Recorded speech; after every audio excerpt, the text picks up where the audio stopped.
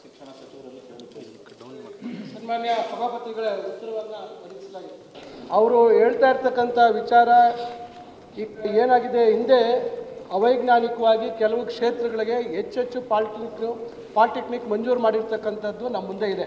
ಈಗಾಗಲೇ ಸರ್ಕಾರ ಇದನ್ನು ಗಮನಿಸಿ ಇರಲ್ಲ ಒಂದು ನಿಮಿಷ ಈಗ ಅವರು ಹೇಳ್ತಾ ಇರ್ತಕ್ಕಂಥ ವಿಚಾರ ಈಗ ಏನಾಗಿದೆ ಹಿಂದೆ ಅವೈಜ್ಞಾನಿಕವಾಗಿ ಕೆಲವು ಕ್ಷೇತ್ರಗಳಿಗೆ ಹೆಚ್ಚೆಚ್ಚು ಪಾಲಿಟೆಕ್ನಿಕ್ ಪಾಲಿಟೆಕ್ನಿಕ್ ಮಂಜೂರು ಮಾಡಿರ್ತಕ್ಕಂಥದ್ದು ನಮ್ಮ ಮುಂದೆ ಇದೆ. ಈಗಾಗಲೇ ಸರ್ಕಾರ ಇದನ್ನು ಗಮನಿಸಿ ಒಂದು ಸಮಿತಿಯನ್ನು ನಾವು ಅಧಿಕಾರಿಗಳ ಸಮಿತಿಯನ್ನು ನೇಮಕ ಮಾಡಿದ್ದೀವಿ.